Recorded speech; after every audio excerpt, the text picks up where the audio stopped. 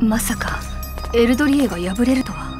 アリスが連れてきたあの罪人たち？はい。それほどの使い手には見えなかったのですが。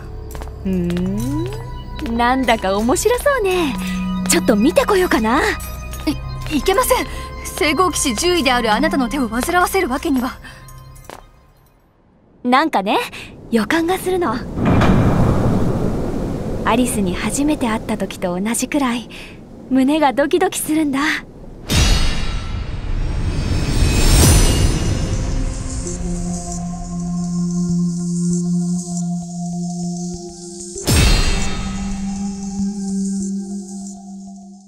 バンダイナムコ。